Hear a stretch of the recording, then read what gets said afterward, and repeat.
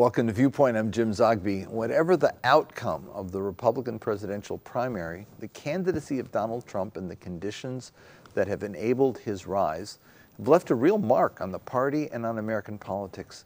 My guest this week is Norman Ornstein. He's resident scholar at the American Enterprise Institute, where he studies U.S. politics, Congress, and elections.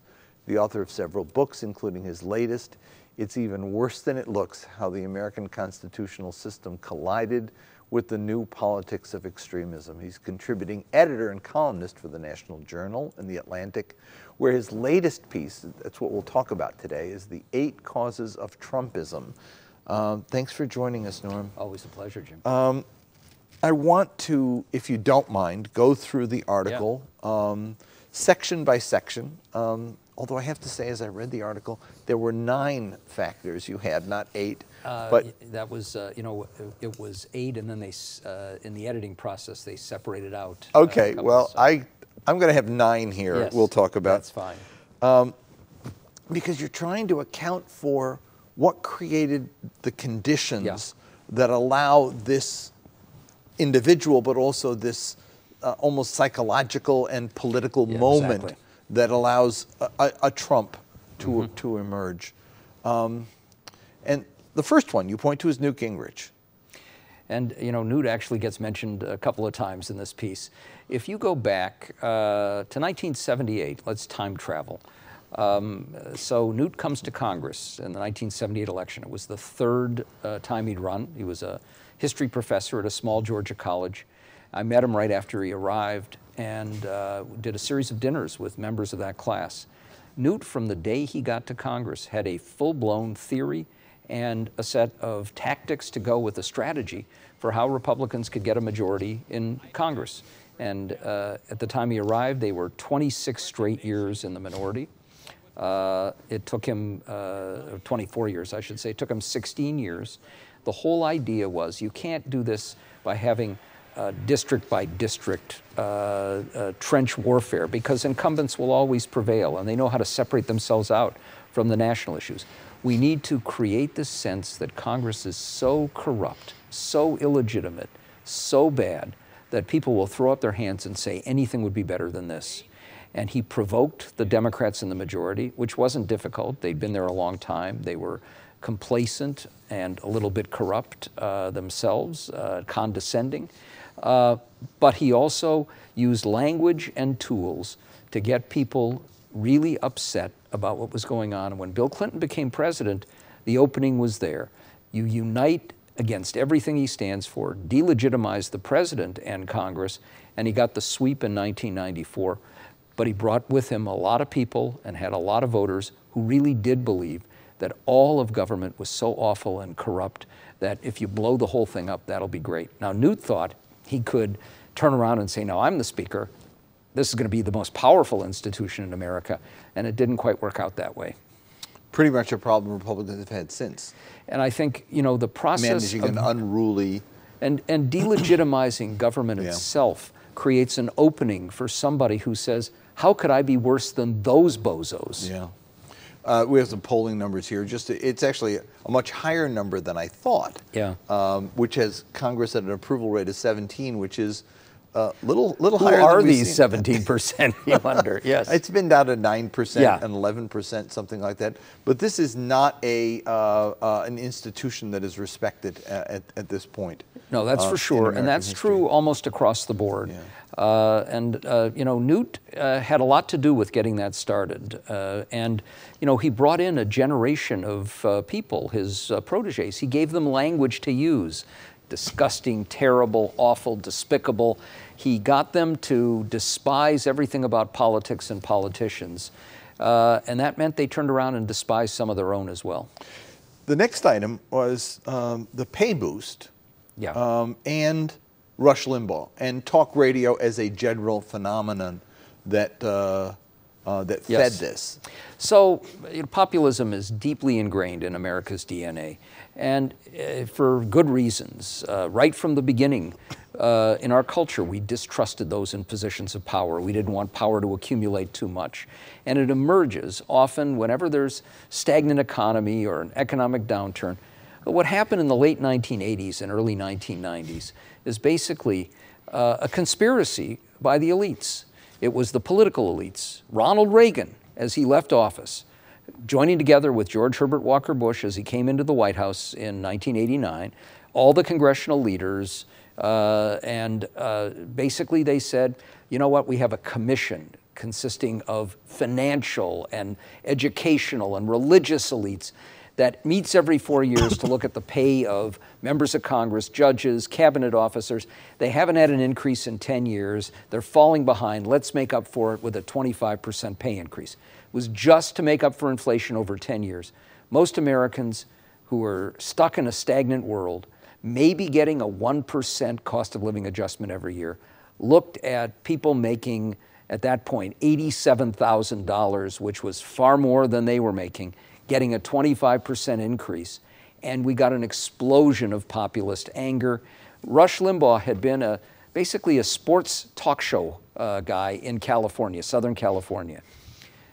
1988, uh, 1987, the FCC repealed the Fairness Doctrine. He moved to New York to try and make a national syndicated show, and the pay raise ignited him and basically created modern talk radio. That populist backlash reverberated for a very long time. So here you have the sort of the combining of a delegitimation of Congress coupled with them giving themselves a pay raise uh, as two initial sparks. And remember, we had polls at the time that showed that a very substantial number of Americans thought that members of Congress lived in mansion, mansions, had liveried servants, drove around in limousines, had this five star restaurant in the Capitol, uh, had the fanciest gym around, got all kinds of perks uh, off taxpayer dollars. Third factor is something that feeds off of conservative talk radio, and that's uh, Roger Ailes and, uh, and Fox News. So, Roger Ailes is a genius, I think you'd have to say. He was a political genius back in the day when he worked for Richard Nixon then moved to business. Uh, Rupert Murdoch let him create Fox News, and Ailes figured out a business model that could work in the modern world where there were so many new choices. And it was a world where if you have an audience of two and a half million people, but they're the right two and a half million, and they keep coming back over and over and over again, you can make a lot of money. So Fox has more net profits with that audience than all three network news divisions with an audience of 20 to 30 million people combined because he saw that if you get that audience, and the audience was conservatives who felt shut out of the mainstream press and hearing a message that the world was falling apart and you have a place where you can go to have your grievances aired was gold. And now they have that audience. We know that's not a huge group, but we know it reverberates enormously. So the, if you ask conservatives, where do you get your news? Fox is by far the most dominant source. And if you listen to Fox, you're going to get a very different picture of the world than if you listen to most other news outlets. And this created what the Clintons used to call the right wing conspiracy because you had this um, sort of feeding of radio and uh, Fox News and some newspapers, the Washington Times and the the uh, the Scaife paper in in Pittsburgh, the Greenberg yeah. paper, um, that all fed each other until it then became a national story, where it would be picked up by a member of Congress, and they'd say, "I read this," and then all of a sudden, the Washington Post is covering it too. Yeah. Um, and so, these are the initial sparks that sort of set the the the the, the, the sort of the context. It, it absolutely did. And, you know, what's happened in the modern world now is uh, we used to, people of our generation, uh, get our news from three networks, and we were passive consumers. Mm-hmm. It was daily newspapers that would come in the morning or the afternoon, the networks. Now you don't have to sit there passively and watch. Uh, I remember when we got our first television set in our house, it was the first one in the neighborhood. It's a huge piece of furniture with a screen about that size. Everybody was mesmerized. But you had to, and younger generations don't even believe this was true, get up off the couch and go over and turn a dial to change a station. Now, of course, you can get whatever you want when you want it. And the people who want to hear what Fox presents uh, hear something that is a distorted view of the world. That's the nature of modern media. We see a similar phenomenon with MSNBC, with nowhere near the audience, but it defines things, and it has also been a drumbeat to delegitimize the opposition. Now, let's go to the, the one, because what doesn't help it are the other networks, and you talk about CNN. Um, and, and MS being a, an effort to replicate the Fox model, not as successfully. But CNN has done its own damage to the political discourse. Oh, very much so. And I think I, I remember doing. I used to do Crossfire. Yeah. Uh, a lot. Um, and the shows that I liked the best were the ones where we actually had a discussion, but the ones they liked the best were when it broke into an all-out brawl, and basically nothing got heard. Sure. And I think you know, in this world now, uh, finding a business model that works, that allows you to make money and have an audience, for cable news is a struggle. Now, uh, you know, as a general matter, when we first got 24 hour cable news, I rejoiced. I thought, at last, we're going to have opportunities for extended discourse, for real uh, discussion of in depth of issues. And of course, it's exactly the opposite. It's quick hits. What you want is to have breaking news uh, running across the screen at all times. What we see with CNN is if there is a plane lost in the Pacific, like the uh, Malaysian Airlines plane, everything else gets dropped to cover that. And of course, what we also see is their definition of fairness, very different than Fox's. Their definition of fairness is you put somebody who is at one end of the spectrum against somebody at the other to scream at each other, or you pick two political consultants who are spinmeisters, and what people hear is they don't believe anything, nobody believes anything, it's all a sham. Mm-hmm. And that doesn't help. Now, what they found is that Donald Trump is a way to bring eyeballs and to make uh, uh, news. MSNBC, very much the same. I uh, now call CNN TNN. It's the Trump News Network.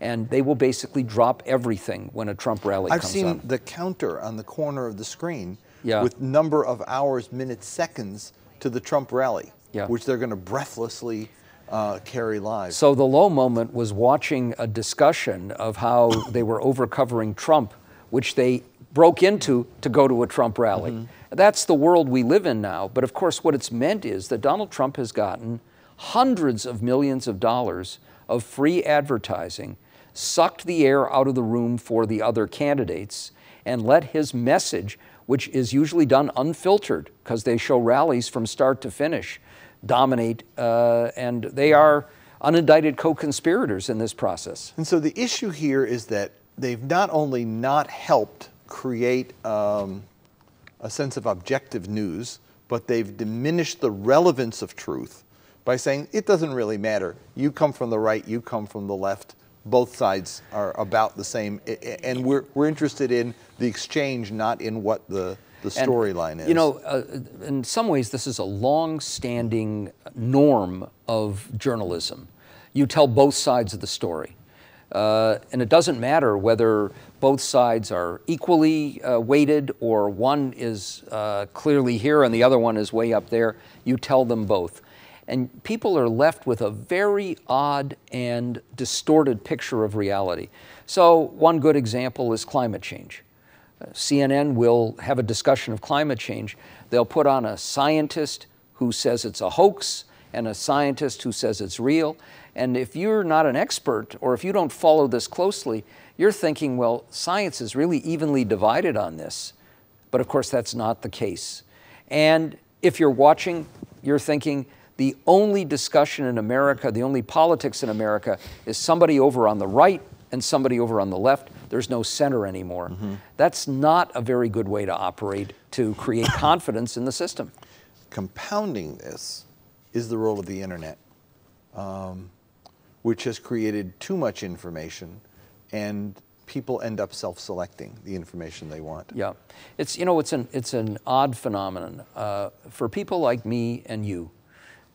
This is the most wonderful world imaginable. I can sit at my desk and not move, and have more information at my fingertips than the entire federal government, the Pentagon, the State Department, and other agencies would have been able to access 20, 30, 40 years ago. Uh, I don't have to worry about finding something in a book anymore. I can do it without leaving. I can get everything that I want or need in history and in contemporary stuff. But for most Americans, it's like a flood coming over you, and you handle it by looking very selectively and going at things that you want to hear. And then you get it compounded by the amplification of social media, where people will get emails uh, or texts or go to Facebook and they'll say, hey, read this. It just came in from the internet, it must be true. So you even have, I mean, here's an incredible element of the phenomenon.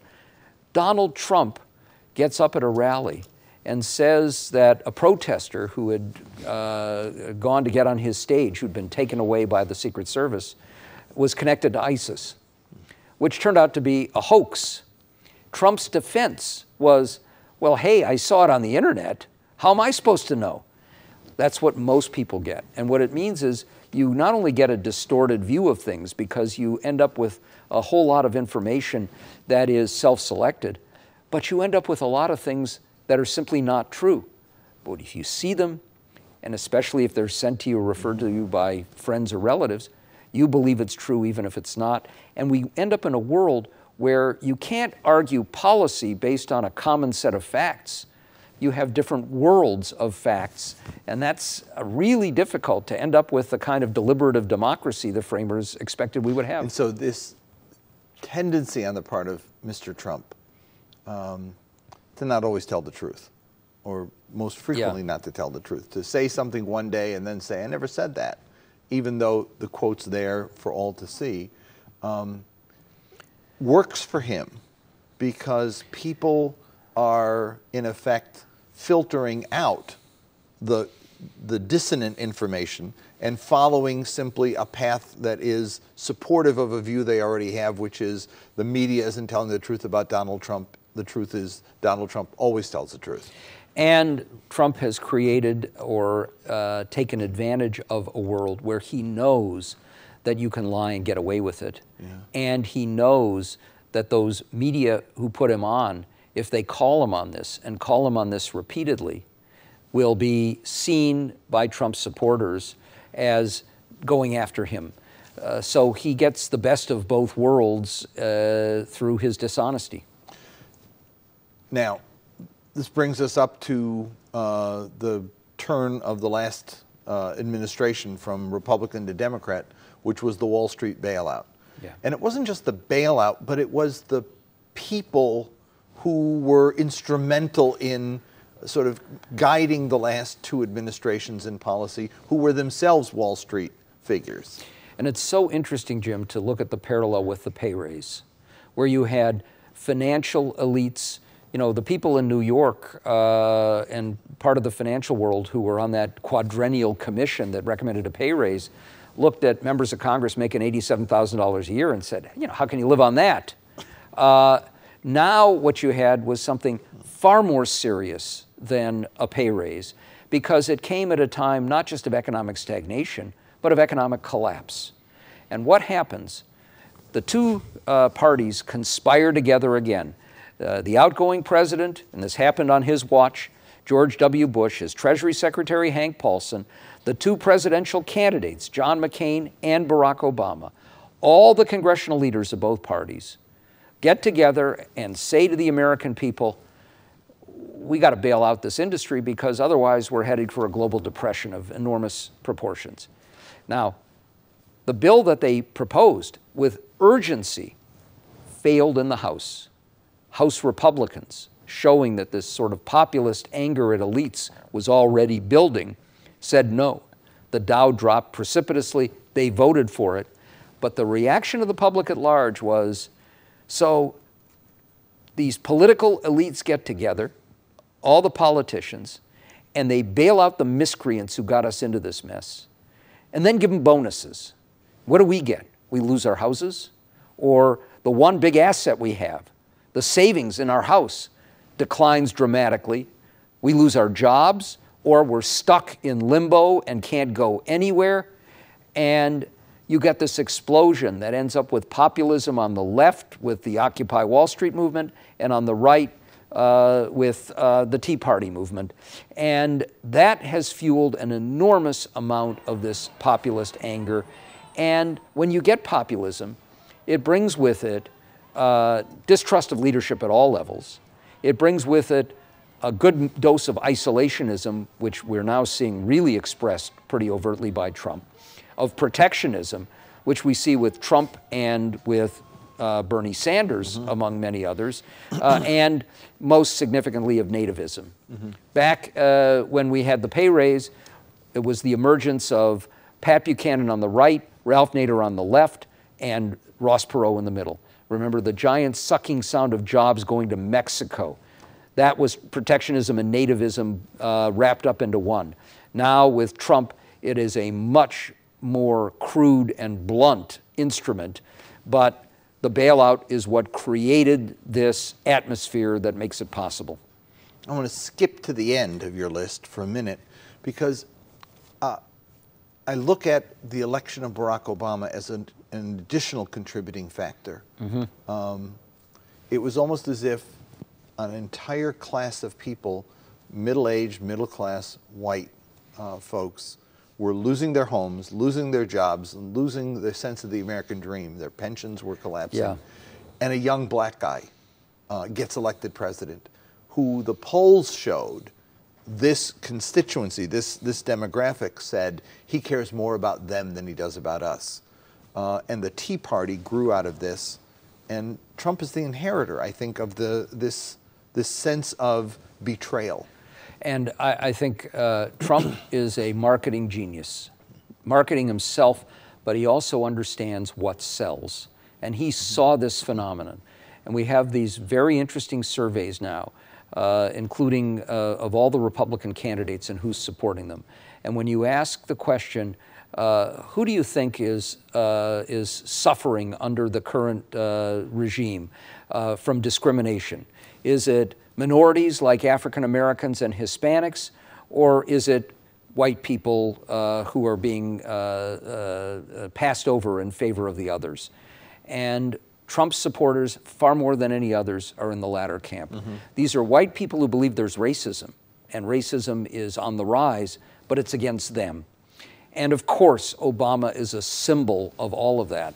It's ironic because in the African American community, there is some resentment of Obama that he hasn't been a president for African Americans, mm-hmm. that he's tried to be a president for everybody. But to the Trump constituency, that's not the case at all. So let's go back again, because yeah. there was, as part of this Tea Party phenomenon, yeah. there were what are called the Young Guns. And yeah. This is a, a class of people elected to Congress in the wake of the Obama election that brought with them a very different uh, agenda even different than the than the Gingrich agenda, harsher. Yeah. Uh, but you know, taking a lot out of the playbook of Newt. You know, a couple of things we know. Uh, one thing we know, Jim, is that uh, the Republicans suffered uh, an across-the-board defeat in 2008. They lost uh, the presidency. Uh, the Democrats ended up with robust majorities in the House and the Senate, and Republican leaders, many of them, met on inaugural eve January 2009. They were demoralized, they were disillusioned, they were depressed, and they had a dinner just a few blocks from where we are at the uh, Capital Grille, and uh, or the caucus uh, room, I should say. And they came out ebullient because they'd figured out what they were going to do, which was they were going to act like a parliamentary minority party, unite together, vote against anything that Obama proposed, even if they'd been for it before, and try to delegitimize him and all of the actions taken by Democrats, believing that at least when the midterms came up, people would be so upset at the failures of governance, make every win ugly, and have some losses that they would have a backlash, just like Newt got in 1994. So we had uh, Kevin McCarthy, Eric Cantor, Paul Ryan, three young leaders of the Republicans in the House. They did a book called The Young Guns, which of course was taken from a movie with Kevin Costner. A picture just like that on the cover. They didn't even mention uh, uh, the speaker their, or their, uh, uh, their leader, John Boehner, because they were a new generation. But what they did was not only pursue that strategy in Congress, they went around the country, fanned out to recruit candidates from the Tea Party, and said, you know what, if we can get back into majority in the House, we will use the debt ceiling as a hostage and force Obama to his knees. And we will repeal Obamacare and Dodd Frank. And then we will force government uh, uh, uh, back into the position it should be in, which is a minor player in the world. And we will uh, give you a down payment to show we're serious. Give us the majority. We'll cut $100 billion right off the top. And it worked like a charm, right? They had the best election that they'd had in 100 years in all the states. They won the House. All these Tea Party members get there. First meeting they have, Paul Ryan, the budget guru, comes and says, You know that 100 billion we promised? Well, the fiscal year actually began October 1, and it's now January, and we're not going to be able to finish until April or May and get it implemented, and we have to prorate it. So it's, it's 100 billion, but it's actually going to be 35. And they're thinking, this is Washington speak. Then, of course, they failed on the debt ceiling. They failed to get Obama to repeal much of anything. And then they were told, well, he's a one term president.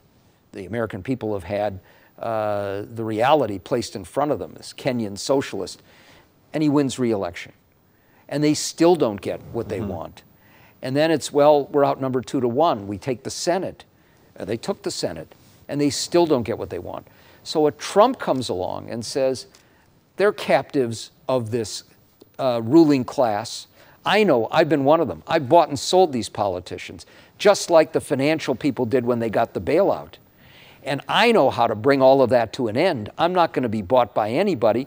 And how can you trust them?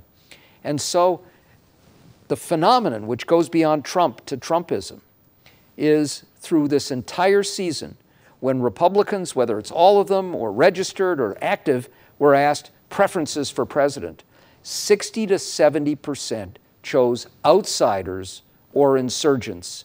20 percent chose the figures who we would see as establishment figures. This is a larger phenomenon than Trump, but Trump has been the one who's exploited it brilliantly.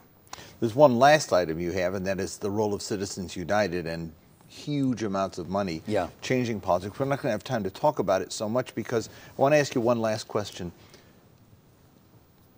Emphasis. Where do you see the weight of this uh, in this equation? Trump or Trumpism? Trump the person or the social and political and psychological context? Um, is Donald Trump the mover of this, or if there were no Trump, there'd be somebody else doing it? Uh, if, and we got it just a minute, yeah. sorry. If there were no Trump, it might be that Ted Cruz, whose calling card is everybody in his party hates him and he called his own leader a liar, might be the one to emerge. But Trump is going to be around as a factor for a long time. Trumpism, which is nativist, uh, isolationist, has a lot of racial elements to it, uh, is not going away anytime soon. And the Republican Party really faces an existential threat yeah. because there are a lot of values that they don't want to predominate that make them an all white party that can't survive for the future. And Trump has taken them down a path that's a very, very bad one. And of course, not and, doing great things for the country. And their own history over the last 30 years have brought them to this point as well. The, the basic point here is this is a self inflicted yeah. wound more than anything else, Jim. Thank you so much, Norm. Sure. Uh, that's all we've got for now. Uh, if you want to follow us on Twitter, it's AAIUSA or on the web at aaiusa.org. Thanks for watching, and I'll see you next week on Viewpoint.